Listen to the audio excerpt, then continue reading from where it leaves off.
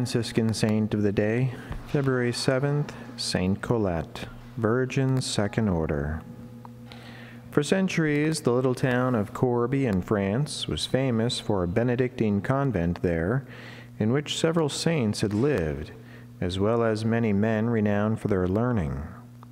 Usually, several hundred religious dwelt there at one time. They were divided into three groups who took turns in solemnly chanting the divine office before the Blessed Sacrament, so that day and night the perpetual praise of God resounded there that was the name applied to this way of imitating the heavenly choirs, and established by devout princes in many a convent of the Middle Ages.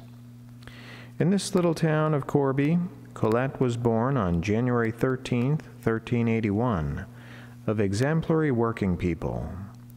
She was a child of grace, in answer to her mother's incessant prayers, for the latter was already sixty years old then, and had been childless up to that time.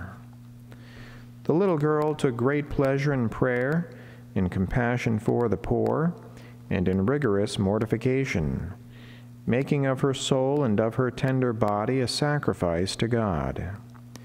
Up to her fourteenth year, she remained unusually small in stature. This was a great grief for her father. Colette begged God to console her father in the matter, and then she began to grow very rapidly to normal height. On the other hand, she asked God to deprive her of the rare beauty she possessed, which she believed might be the occasion of danger to herself and others. That request, too, was granted, and Colette developed features of a severe cast which inspired great respect. When both her parents had died, Colette, at the age of 22, obtained the permission of the church authorities to shut herself up in a small abode directly adjoining the church. From a small window in it, she could see the Blessed Sacrament. There, she expected to spend the remainder of her life as an anchoress. She had embraced the rule of the Third Order of St. Francis, in accordance with which she endeavored to live in perfect poverty, severe mortification, and constant prayer in order to become daily more and more like the Seraphic Father. She received many consolations from heaven, but on the other hand, she also experienced severe temptations and even corporal abuse from the spirits of darkness. Almighty God had destined Colette for something extraordinary. He excited in her the desire to reintroduce the strict observance of the rule of St. Clare which many convents of Poor Clares then observed in a modified form. The humble virgin recoiled at the thought, which she tried to persuade herself was an illusion of the proud spirit of darkness. But the inspiration returned again and again, and when she continued to resist it, she was struck dumb and later on blind, until she finally resigned herself to the will of God, like Saul before Damascus. Lord, she sobbed in her heart, what wilt thou have me do? I am ready to do anything thou desirest of me. At once her speech and her sight were restored.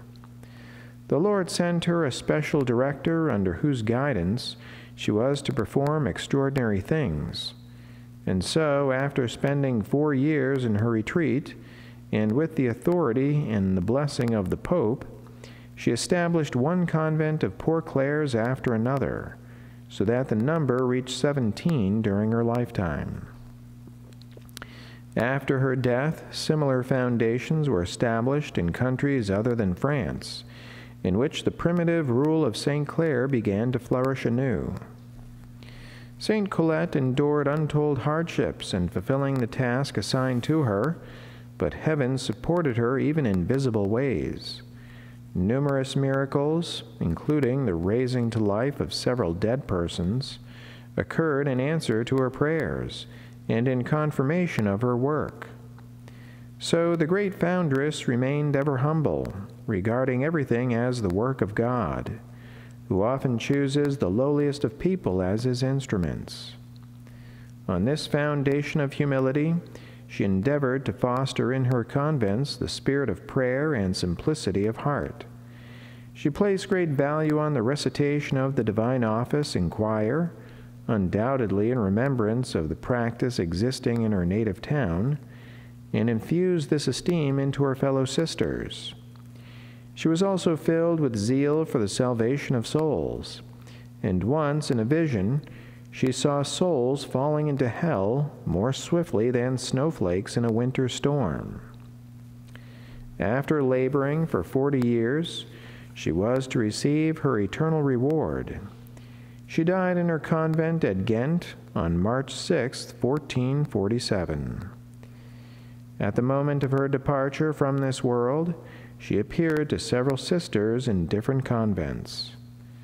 Pope Urban VIII beatified her, and Pope Pius VII solemnly canonized her in 1807.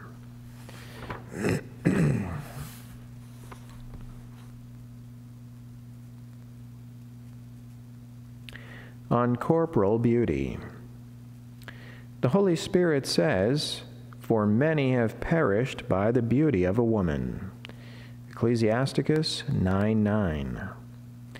St. Colette reflected on this truth, and fearing nothing more than to give anyone occasion to sin, she asked God, as did also St. Lidwina, to deprive her of her corporal beauty. God heard her prayer by means of a miracle. How different is the example of the young women who not only prefer to be beautiful to plain looking, but endeavor in every possible way to enhance their imaginary beauty and to make themselves more attractive. Such persons lay snares for souls and draw down upon themselves sin and misery. A Christian young woman will not act in that way Whoever does do it does not deserve the name Christian anymore.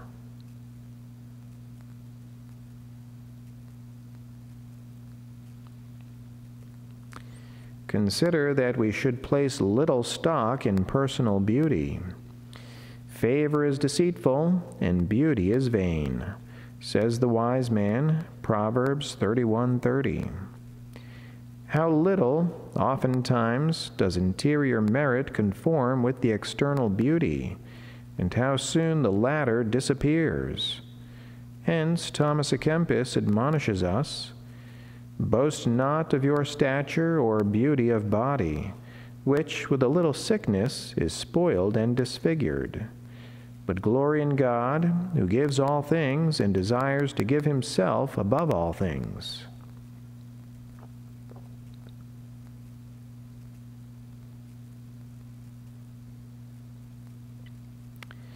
Consider that if you possess personal beauty, it should urge you to achieve beauty of soul through purity of heart, sincerity, modesty, piety, genuine love of God and neighbor.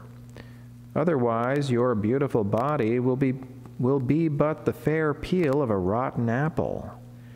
On the other hand, even if you are not now possessed of bodily beauty, you can possess it later if you now beautify your soul. For then even your body will be beautiful in the resurrection and throughout eternity.